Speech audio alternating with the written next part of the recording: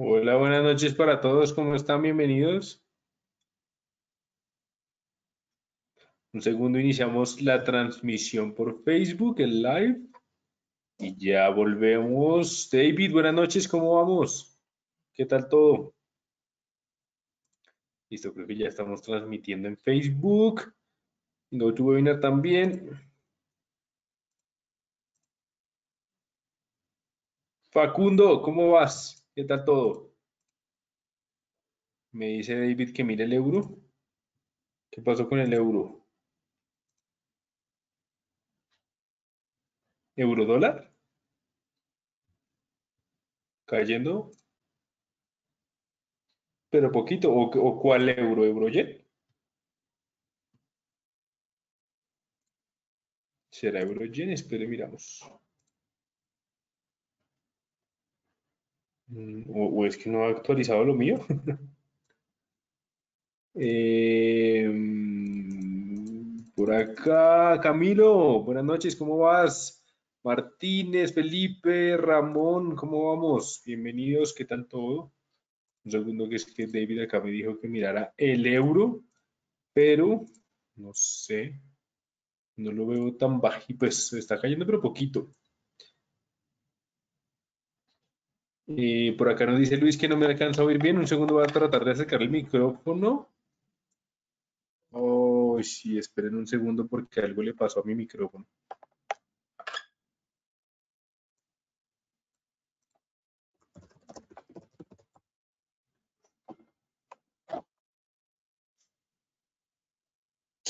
Oh my God. Listo. Ya, es que estaba un poquito sucio y no, al momento de la conexión, no estaba cogiendo. Qué pena con ustedes. Buenas noches. Eh, ¿Me pueden confirmar que ahora sí me escuchen, por favor? Eh,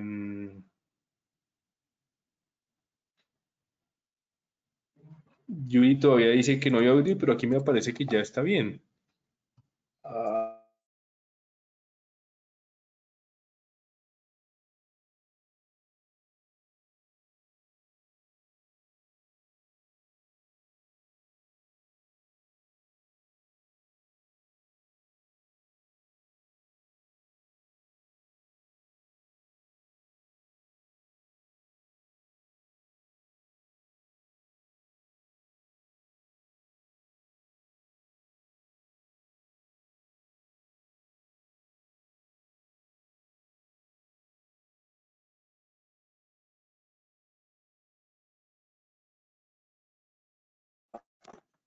uh, Dios.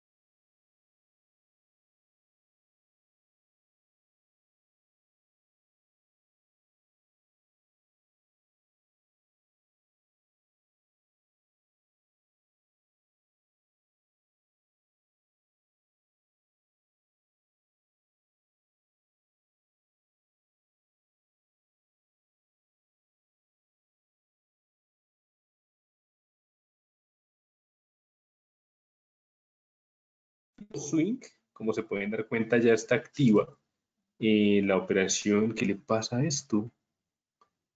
Computer Audio, no sé por qué se me despliega el... ¿También se puede en GoToWebinar el audio?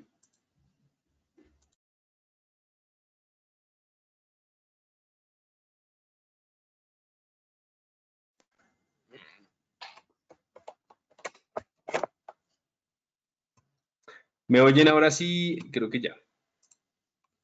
Ya le, lo cambié de puerto. Nuevo hardware. Oh, que no vaya a ser el, cable. Mm, no me aparece nada. ¿Me oyen en, en GoToWebinar? ¿Me pueden confirmar, por favor, si me oyen? Sin audio nos dicen por acá. Bueno, voy a hacerlo con el del computador mientras. Porque no tengo ni idea qué pasó. Ah, tocó con el audio del computador que no es el mejor, pero nos va a tocar así, ¿vale? Porque no sé tampoco qué le pasó al OBS, pero no me quiere coger el audio tampoco el OBS. Muy raro. Bueno, Mientras yo trato acá de iniciar el webinar en Facebook, porque no, no sé qué le pasó a OBS, no me está mostrando audio. No sé si fue que se desconfiguró la pantalla. Em, ya revisamos entonces. A ver, vamos a ver en la clase de hoy cómo afecta el coronavirus a, a los índices bursátiles. Como hemos podido observar, vámonos a coger el índice bursátil de preferencia, lo que es el Dow Jones. En el Dow Jones, pues tenemos eh, claramente una tendencia absolutamente alcista, eh, una recuperación desde la última caída que tuvo debido al COVID-19. Voy a poner la pantalla por acá porque como no estamos en Facebook, no es necesario tenerla en este lado. Vamos a hacer una cosa, voy a iniciar el live en Facebook y voy a compartirle a todos el, el enlace a GoToWebinar, listo, porque mucha gente se quería conectar y precisamente no pude, entonces los voy a compartir. ¿Listo? Un momento, inicio el envío.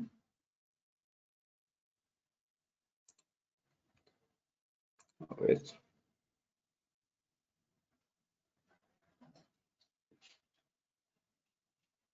Y ya inicio el envío y ya vuelvo con ustedes. Entonces, ¿listo? Listo. Solamente voy a tratar de compartirles el enlace para que se puedan conectar. A ver. Invitar, copiar invitación. La ponemos.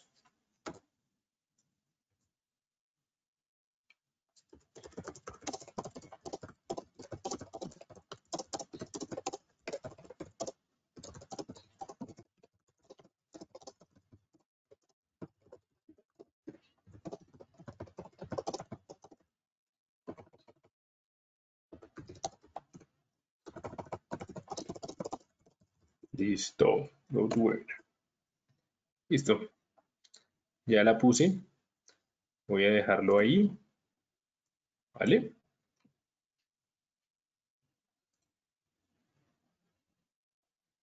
Y démosle por acá.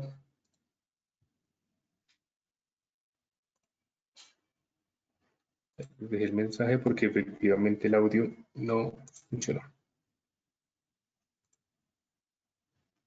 Listo. Listo, un segundito lo finalizo. Ya quedó finalizado, perfecto. Vale, ya quedó todo. Ahí los que se quieran unir les pasé el enlace. Ahora sí podemos continuar entonces. Segundo, cerramos esto por acá. Listo. Bien, entonces, ¿qué tenemos?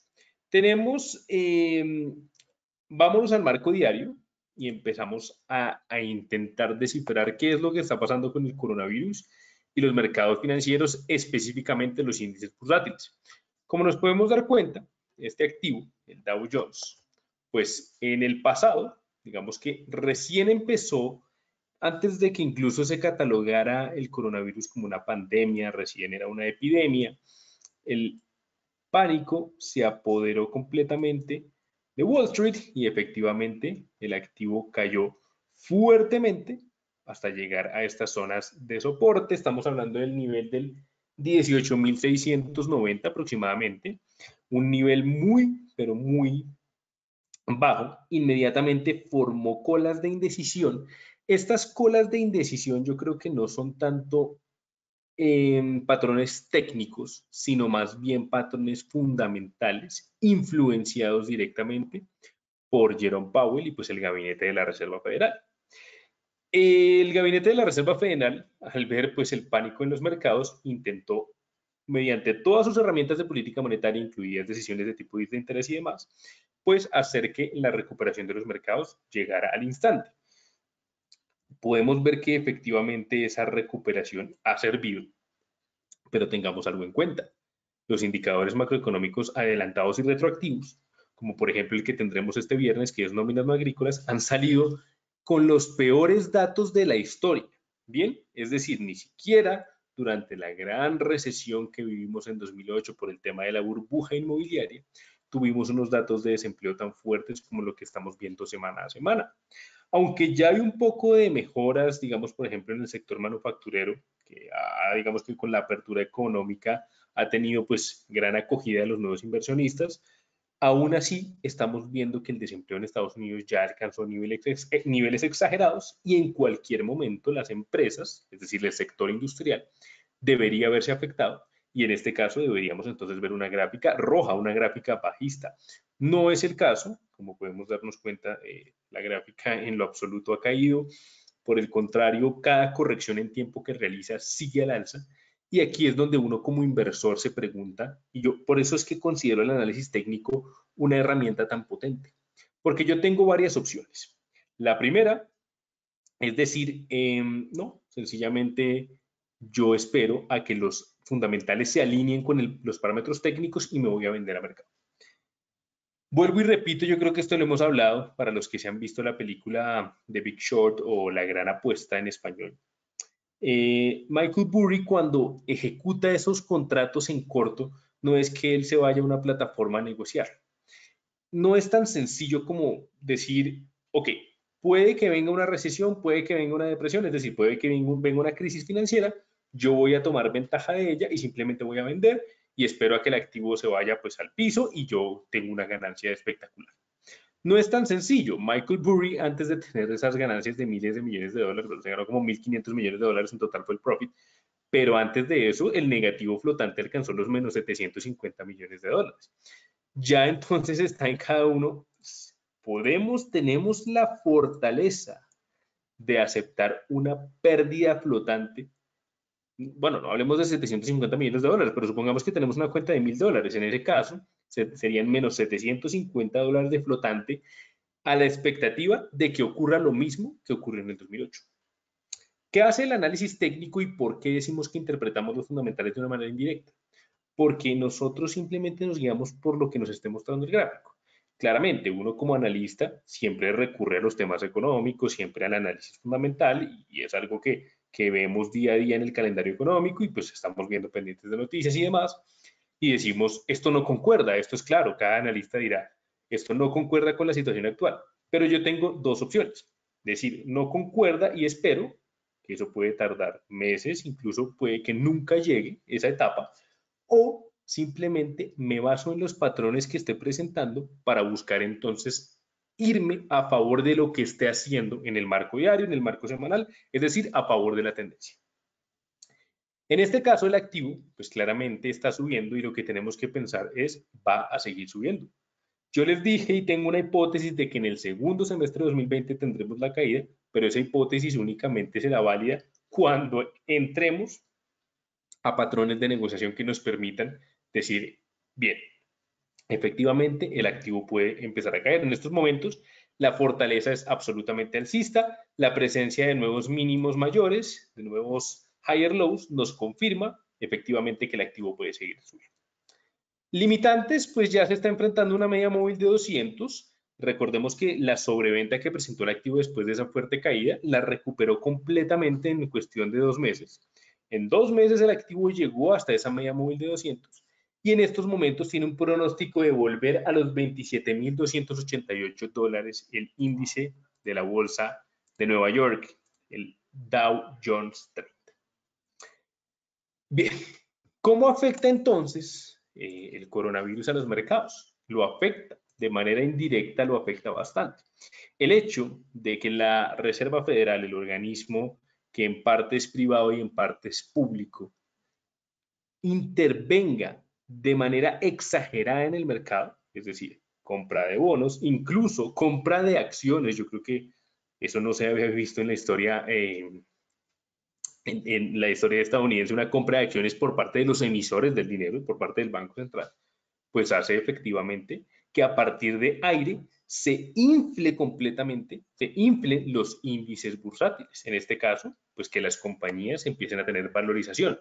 Esta valorización se hace de varias maneras, por medio de préstamos, recordemos los alivios económicos que ha propuesto FED, tanto para las grandes compañías como para las pequeñas y medianas, y a la vez por medio de sustentos como lo son los bonos eh, estatales.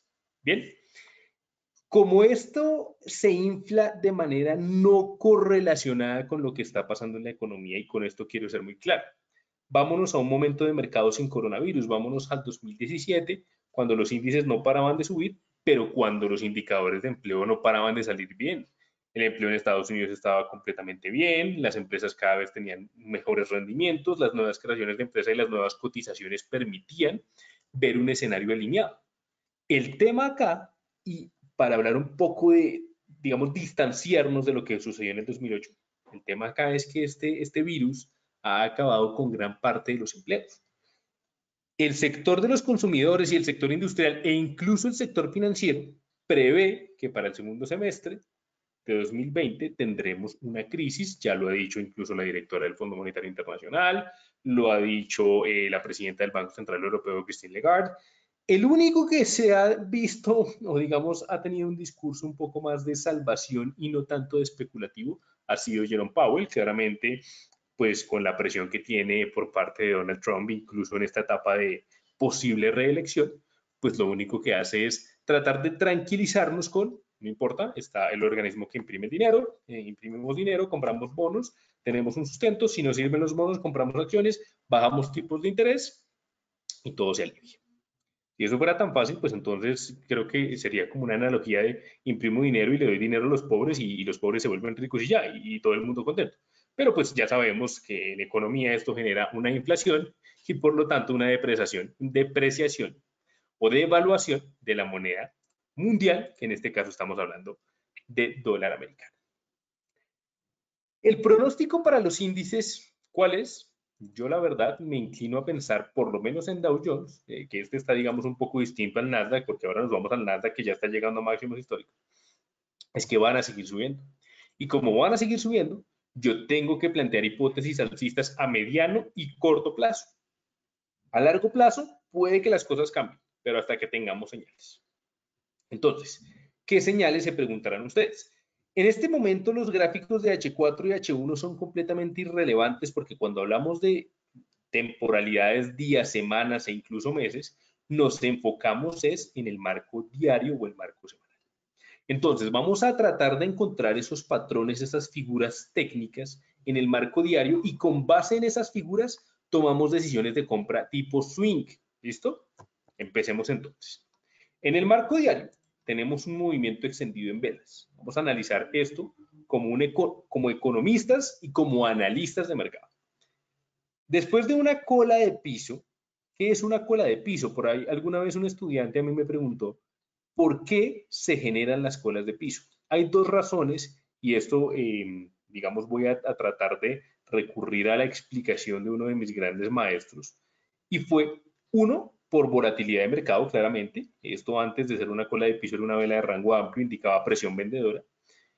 Después, pues aparecieron los compradores, limitaron esa presión en el día, porque estamos viendo el gráfico diario, y sencillamente pues ocurrió lo que llamamos un espacio de volatilidad. Pero la segunda razón es porque sí, porque sí.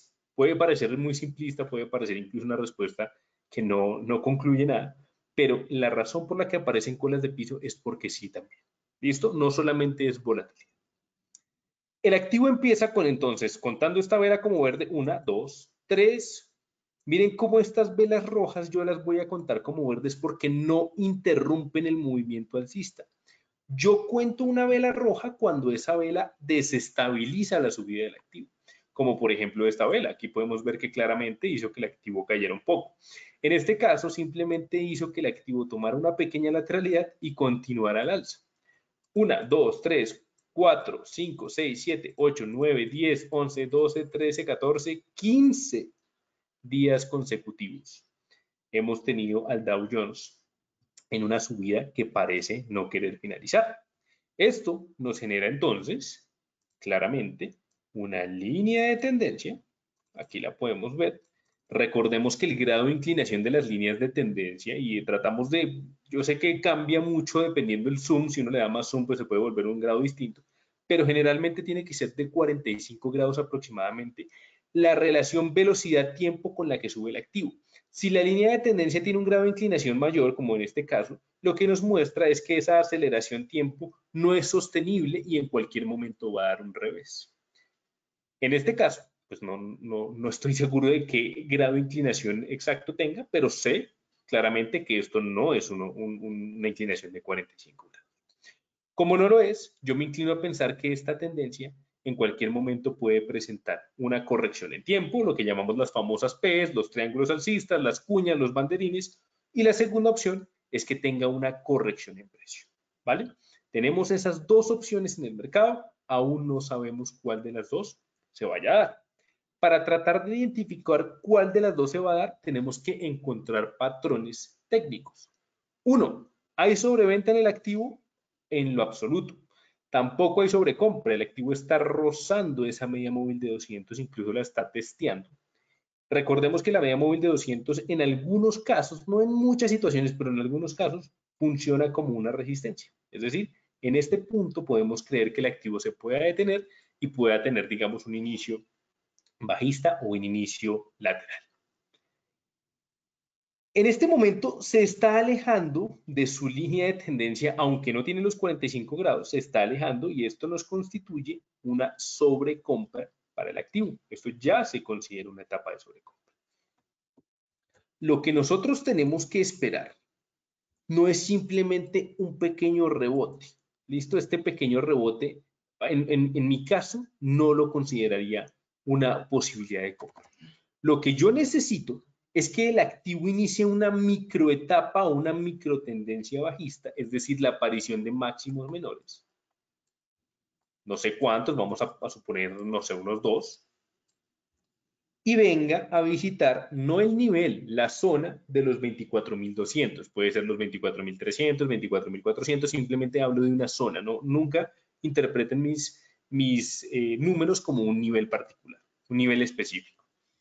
Cuando haga esta situación, por simple fractalidad en los marcos intradía H4 y H1, toda la sobrecompra y toda la extensión en velas se va a ver finalizada. Y tendremos entonces un activo que por más de que inicie una microtendencia bajista, dentro de su tendencia general, es decir, dentro de sus mínimos ascendentes, seguiría siendo alcista. Esta microtendencia bajista nos va a permitir trazarle una línea de tendencia bajista. Y recordemos que esa línea entonces no es una línea de tendencia, sino una línea de microtendencia dentro de la tendencia general. Lo que nos permite es esperar el momento perfecto para que el activo dé un descanso y así cuando yo lo vaya a comprar no esté presentando entonces un movimiento que me impida que el activo siga subiendo. Si yo compro en este punto simplemente por decir es que si lleva 15 días al alza, ¿por qué no puede hacer 20? Puedo ser el último en entrar. Y recordemos que hay varias formas de ser el último en entrar. No solamente la forma en la que el activo empieza con una caída fuerte, sino también en la que el activo empieza con una etapa lateral y en estas etapas laterales el stop loss se ve muy vulnerado porque cualquier volatilidad intradía nos saca y después puede que el activo continúe su movimiento. Por eso yo prefiero muchas veces que sea una etapa bajista, equivocarme en una hipótesis alcista y que sea una bajista la que me saque, que equivocarme en una hipótesis alcista o bajista y que sea una lateralidad la que me saque. Yo como trader técnico odio las lateralidades para negociarlas. Para analizarlas son excelentes, pero para negociarlas son yo creo que la, peor etapa que puede vivir uno si está en, largo o corto en, en, el activo. No les puedo garantizar si el activo la próxima semana va a empezar a caer, no les puedo garantizar si lo va a hacer en un mes, puede que se tarde, puede que lo haga mañana, bien, esto puede tardar unos días, pero cuando el activo haga algo similar a lo que estamos dibujando, en ese momento nosotros tendremos ya una hipótesis mucho más sólida. Y como tenemos una hipótesis más sólida, ya podemos ir a comprar de una manera mucho más estratégica y mucho más confiados. Recordemos que el principio de Charles Dow es los índices bursátiles, estamos viendo uno de ellos, permiten identificar tendencias generales de mercado. Es decir, que si el Dow Jones continúa al alza, la tendencia general de mercado entonces sería alcista. Y con general me refiero a todo el mercado. Mercado de divisas, mercado de commodities y mercado de índices bursátiles. Si esta situación se cumple, nosotros entonces diríamos, bien, esta corrección se está alineando al tema de los datos fundamentales. Bien, estamos viendo tal vez las etapas de desempleo y demás, están funcionando y ya tenemos un patrón de continuación. Bien, no es tan así, es simplemente que este descanso ya sería algo técnico, sería armónico. Es necesario, pero no necesariamente tiene que ser fundamental. Si el descanso fuera fundamental, entonces lo veríamos como lo que vimos cuando apareció este nuevo coronavirus, en forma de verticalidades bajistas que no nos permitirían entonces aproximarnos a una hipótesis real de mercado. Bien, esa es la situación para los índices bursátiles. Hace unas semanas, y creo que muchos se acuerdan, muchos recuerdan esto, pero hace unas semanas, nosotros em, teníamos hipótesis bajistas, por ejemplo, vamos a cambiar de activo en el DAX 30, por la aparición de hombros cabeza a hombro en el marco de cuatro horas, incluso en el marco diario, aquí se los, voy, se los voy a mostrar para que los recordemos. En el marco diario apareció una formación del famoso Head and Shoulders, que nos trataba de confirmar que en la ruptura de su línea de cuello o línea clavicular, como le quieran llamar, podía entonces ser bajista. El activo alcanzó a vulnerarla, pero la finalización de esa vela marcó una cola de piso, es decir, teníamos un breakout failure que por el contrario me confirmó, uno, que el hombro cabeza a hombro no funcionó y dos, que la cola de piso marcó la finalización de la corrección en tiempo y el desarrollo alcista. Miren cómo el mercado es tan perfecto que incluso con la desalineación de los datos fundamentales y los datos técnicos, aún los patrones siguen sirviendo. El patrón de cola de piso funcionó muy bien.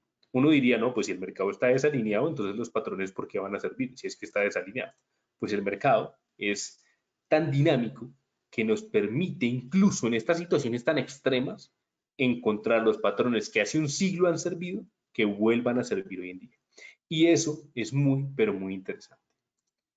Ahora bien, el DAX 30, eh, recordemos lo siguiente, después de una gran tendencia alcista que duró desde 2012, incluso desde más atrás, acá tengo la data únicamente desde 2012, pero seguramente eso viene de mucho más atrás, voy a trazar una resistencia por acá, porque este soporte ya no me sirve para nada, reacomodo las líneas.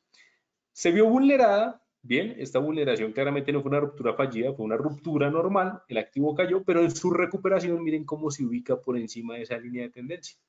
Es decir, en este momento esta línea de tendencia yo la puedo borrar porque no me está mostrando nada. Yo ya uní los mínimos que necesitaba y en este punto no tengo que unir nada más. Simplemente me conformo con que visualmente es una tendencia alcista y tiene espacio de continuación entre el nivel del soporte de los 13.039 hasta, perdón, de los 120, eh, 12.039 hasta los 12.696.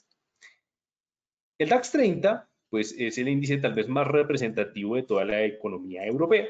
En este cotizan 30 de las empresas más grandes de Alemania que cotizan en la bolsa de Frankfurt y su correlación es bastante alta con los índices americanos, Standard Poor's, Dow Jones y Nasdaq. Es decir, que la continuación de este índice alcista nos confirma entonces que la repercusión, miren que yo solamente he hablado de Powell, yo no he hablado de Lagarde, no he hablado de ningún otro presidente de ningún banco central europeo. Esa repercusión de lo que dice Powell se hace un eco directamente en Europa, aunque las medidas eh, de política monetaria son completamente distintas. El hecho de que Estados Unidos sea un país potencia y sea el que domina en cuanto a temas económicos hace que sus réplicas se vean directamente efectivas en los mercados. Bien, aunque no, digamos, uno pensaría por qué tiene que ser así si, no sé, eh, los tipos de interés son completamente distintos y demás, pues así se, van apareciendo entonces las cosas. ¿Listo? Entonces, cuando se pregunten ustedes em, si el coronavirus eh, afecta o no afecta, por más de que no estén cayendo los activos, sí, sí afecta. Afecta en la manera en que si esto llegase a ser una burbuja, eso no, pues es muy difícil que yo eh, se los diga la verdad. Muchos economistas de gran prestigio lo están tratando de afirmar o tratando al menos de concluirlo. Sin embargo, eso no lo puede adivinar nadie. Tenemos que esperar porque incluso Michael Burry tuvo dudas cuando se enfrentó a la burbuja inmobiliaria de 2008 y créanme que su conclusión llegó a partir de un análisis de bonos hipotecarios base por base, que son más o menos 36 bases dentro de las microbases que componen un bono hipotecario, entonces era bastante análisis el que tuvo que hacer para uno poder afirmar, no, es que el mercado está inflado porque Powell compró bonos. Las cosas no pueden ser así, requiere un análisis más específico. En este punto, lo que quiero que tengamos en cuenta y lo que quiero que realmente aprendan con la clase de hoy eh, es que fíjense en los gráficos. No importa si el fundamental dice que el euro si ustedes leen, por ejemplo, yo me voy a mi calendario económico, vámonos por acá al de FX Street, y yo, por ejemplo, hoy miércoles eh, inicié mi día a las, ejemplo, 6 de la mañana y puse listo. Entonces, a ver, a las 9 de la mañana tuvimos, wow, decisión de tipos de interés para el Banco Central de Canadá. Esta decisión de tipos de interés es una de las noticias más volátiles junto con las nóminas no agrícolas yo digo, ok, si esto se va a mantener, pues entonces voy a leer qué me dice FX Street, qué me dicen los, los analistas de FX Street. Acá dice que el Banco de Canadá anuncia la tasa de interés intercambiaria. Esta tasa afecta a un rango de tipos de interés fijados por bancos comerciales, sociedades de construcción y otras instituciones para sus propios prestatarios y depositarios. También afecta a los tipos de cambio. Si el Banco de Canadá es firme con respecto a la perspectiva inflacionaria de la economía e incrementa los tipos, esto es alcista para el dólar canadiense como podemos ver, estos tipos de interés, y esto lleva ya mucho tiempo así, se han mantenido en menos de 1.25%. Si uno se va al dólar contra el dólar canadiense, vámonos a, al USD Si yo me voy al activo, podemos ver que en una de las noticias más volátiles no pasó nada. El activo, a ver, creo que la noticia 8, 7, 6, 5, 4, 3, 2, 1, 12, 11, 10, una vela de rango amplio, pero esto no, esto cuántos pips tiene, eso no creo que tenga, no alcanza a mover ni siquiera unos, a ver, sí, 50 pips, apenas alcanzó a mover 50 pips el activo, eso la verdad es muy, pero muy poquito, em, la verdad, los movimientos que realmente importan son cuando vemos 150 o 100 pips al alza, pues eso ya es lo que uno considera la noticia afectó. Si yo me basara entonces por lo que ocurrió, diría, ok, si las tasas de interés no están subiendo y por el contrario se están manteniendo estables, pues entonces el dólar canadiense debería entrar en una devaluación. Y por lo tanto, en la gráfica, como vemos al dólar como nominador, deberíamos esperar un gran incremento. Lo hubo en lo absoluto. Algo muy extraño es que el dólar contra el dólar canadiense es un par de divisas que generalmente no tiene correcciones en tiempo. La volatilidad es tan fuerte que cuando el activo cae y quiere tener una recuperación de esa caída, lo hace de manera completamente vertical. Asimismo, cuando el activo sube y quiere recuperar esa subida de manera bajista, lo hace de manera completamente vertical. Eso ya lo habíamos hablado. En estos momentos el activo está corrigiendo de una manera completamente lateral y esto lo que nos puede estar mostrando, lo que nos puede estar enseñando, es que los activos con esta crisis, con esta pandemia, puede que cambien todo lo que teníamos, digamos, de conocimiento técnico, de conocimiento histórico, y puede que empiecen a reflejarse de manera distinta. Algo que ya ha sucedido y que ha cambiado bastante es el tema, por ejemplo, de la sobrecompra en los activos. Si uno se va a un activo como, por ejemplo, el dólar australiano, se puede evidenciar que la sobrecompra ya es absolutamente exagerada. ya en cualquier marco de tiempo, eh, no solo con respecto a su media móvil de 200, también con respecto a su, línea de tendencia. Podemos afirmar que estamos ante una tendencia absolutamente madura con una sobrecompra extrema y el activo no está presentando señales de finalización. Aún no las está presentando. Recordemos que la sesión asiática, bueno, sí, algo de volatilidad, en una hora lo que siempre pasa, una vela ya sea verde o roja fuerte, pero finalmente en asiática como que cambia el movimiento. Al menos eso es lo que nos han mostrado, nos, han mostrado, perdón, los activos en estos momentos.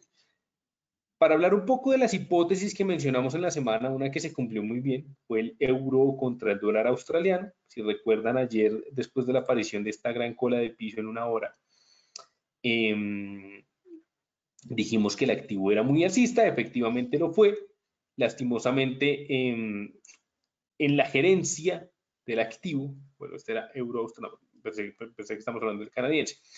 En la gerencia del activo, pues vino, hizo este mínimo mayor y después de hacerlo empezó a rebotar, pero pues eh, digamos que en las condiciones normales de gerencia, al momento de pasar del stop loss a break even, uno lo sube unos punticos para que no lo saque en negativo, sino lo saque con 10, 15 centavos de ganancia, simplemente para no, para no terminar negativo, pues esta colita lo habría sacado a uno.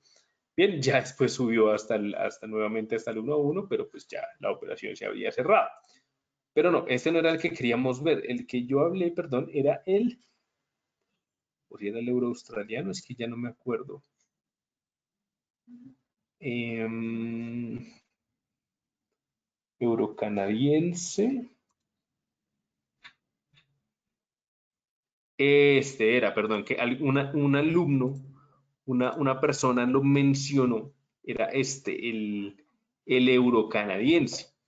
Recordemos entonces lo que habíamos hablado ayer en el webinar fue lo siguiente, fue que esta zona de soporte estaba muy bien marcada, influenciando una continuación alcista, efectivamente lo hizo, y no teníamos un patrón muy claro, dijimos que podíamos entrar al mercado con un stop loss muy protectivo por debajo de la zona de soporte, alcanzó casi que con esta cola llegar al 2 a 1, pero bueno, iría muy bien, iría en el 1 a 1, simplemente yo tendría mi stop loss en break-even y el activo podría tener esa continuación alcista.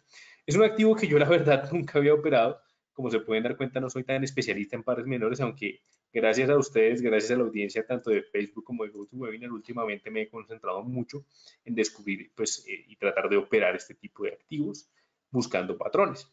El tema acá en euro canadiense, y esto también lo quería mencionar, es que ya en este punto está apareciendo una figura bajista de, con corrección en precio, que sería un primer LH en el marco de cuatro horas y tenemos algo de colas que podrían hacer que el activo se desestabilice y venga a caer.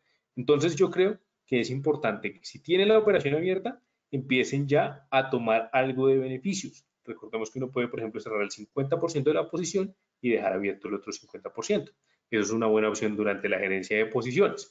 La otra opción sería cerrarlo completamente en el 1 a 1, no es lo más conveniente posible, pero pues yo, por ejemplo, voy a operar de aquí hasta el viernes antes de las 7 y media que tendremos nóminas no agrícolas. No me gusta estar presente en esos momentos tan fuertes de volatilidad.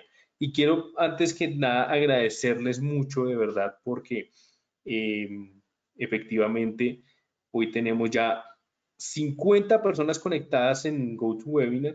Eh, me alegra mucho que hayan seguido el link. Eh, yo creo que se pueden dar cuenta la calidad por GoToWebinar es mucho mejor. Eh, la pantalla nunca se congela, la cámara se ve mucho mejor.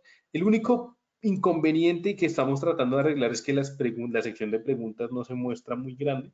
Sin embargo, vamos a ver cómo podemos arreglar esa situación. Vamos a, a verlo pero me alegra mucho, espero que les haya pues gustado la experiencia a los que, por ejemplo, no habían iniciado, a los que únicamente estaban por Facebook.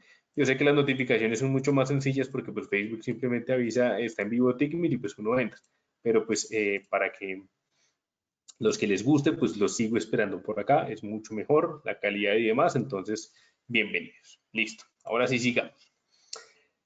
También teníamos eh, una hipótesis alcista para el oro, que esta sí claramente podemos ver que el activo eh, se pegó una caída fuerte, lo mencionamos en el premercado semanal, lo dijimos el domingo, el euro necesita una corrección, ya está demasiado sobrecomprado, Lo interesante del activo es que ya llegó hasta donde yo quería ver esa corrección, que es hasta el nivel del 1690.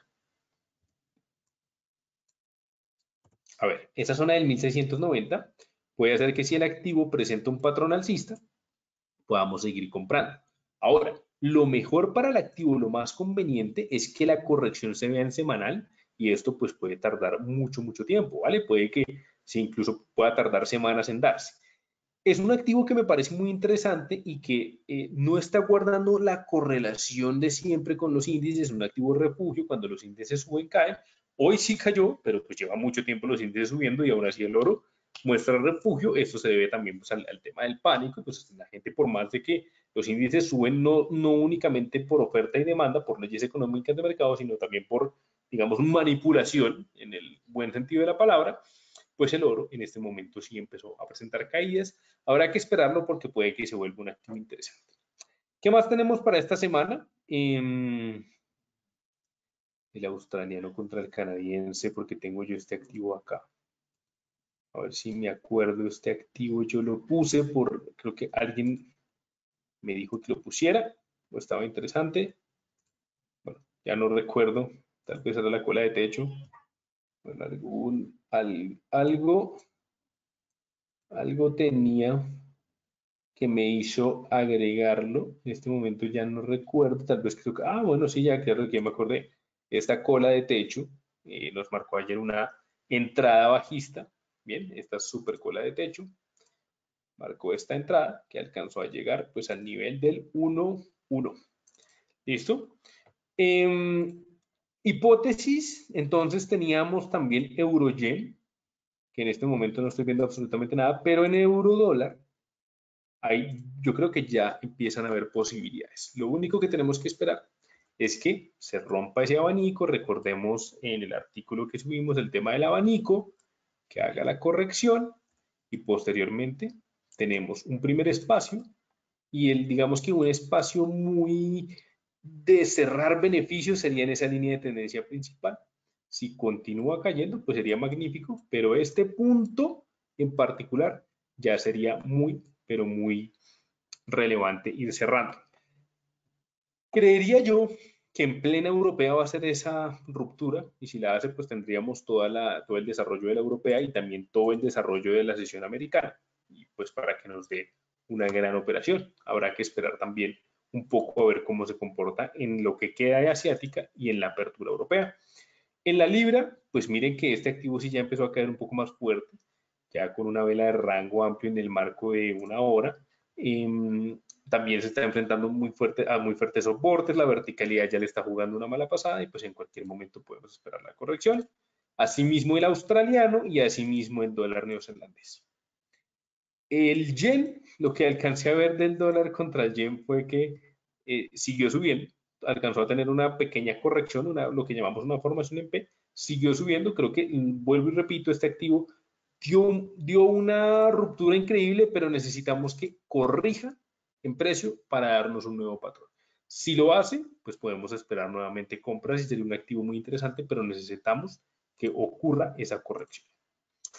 Franco suizo, pues Vuelvo y digo, no hay absolutamente nada en este activo, absolutamente lateral. No me gusta en lo más mínimo. Oro ya lo vimos. Plata vamos a ver si... Ah, bueno, no me acordaba de la hipótesis que teníamos en plata. Si recuerdan, dijimos que este máximo menor con ruptura, yo le dejé trazado el Fibonacci. Eh, se habría activado, iría en el 1 a 1 la operación. Lenta, pero pues iría muy bien y el patrón estuvo, creo que muy bien marcado este máximo menor. Máximo menor en plena ruptura que se estaría desarrollando y pues lo bueno de este activo es que tiene espacio. Eso es lo que finalmente me gusta, que tiene muy, muy buen espacio de caída. Bueno, los índices ya los revisamos. Vamos a ver el canadiense contra el yen. Eh, tuvo alguna caída, después la recuperó. Eh, también tenemos el abanico. Recordemos, cuando rompa esa línea de tendencia terciaria, podemos encontrar oportunidades. Hasta el momento no veo nada. En el canadiense contra el yen. Libra yen también ya empezó una corrección muy similar a libra dólar. Libra neozelandés que no lo habíamos visto. Nada, no hay absolutamente nada. Euro australiano, lo sigo viendo alcista. Me parece que miren que ya incluso hay una cola de piso en el marco diario. Eso, como ya ocurrió el patrón, ¿qué nuevo patrón podríamos tener? pues que haga una formación de mínimo mayor en una hora. Esa sería la situación. Mínimo mayor en una hora, pero sí se ve alcista. Sí se ve alcista ese euro australiano. Eh, Eurogen, pues nada, si el activo tenemos el abanico con línea de tendencia terciaria, ya incluso quiere hacer como una, cuarta línea de tendencia que ya, eso ni siquiera se lo voy a trazar porque eso nunca lo, lo he hecho.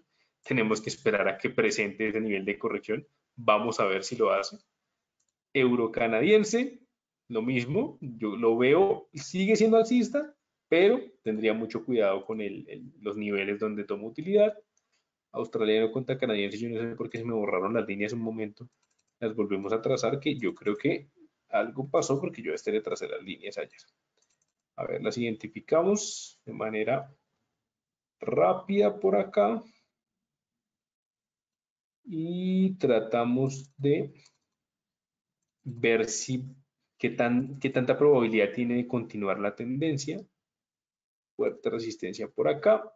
Vamos a guardar. Yo creo que tal vez no le di el doble clic a las líneas y eso fue lo que pasó. Guardemos la plantilla en el marco de, en el marco, en la plantilla de Sebastián, perdón. Mi plantilla la cargamos en el semanal. Plantilla, a ver qué tenemos en el marco semanal. Listo. Creo que con esa ya estamos bien. La guardamos igual. Plantilla, listo. Y la cargamos. En el marco diario, donde tenemos esa fuerte cola de techo, sí está. Está interesante este activo con esa cola de techo, el fallo en H4, la super mega verticalidad no sé si el patrón en una hora, pero un, en un buen patrón de máximo menor en 15 minutos podría funcionar. Es decir, esperamos que siga cayendo en asiática, que antes de abrir la europea del patrón, cuando nos dé CLH, poder seguir buscando ventas. ¿Listo? Me parece que sería un excelente activo eh, para que tengamos muy en cuenta este australiano canadiense. Y bueno, en Eurolibra ya saben, pues tengo la hipótesis alcista Em, es, una, es una hipótesis tipo swing porque se ejecutó en el marco de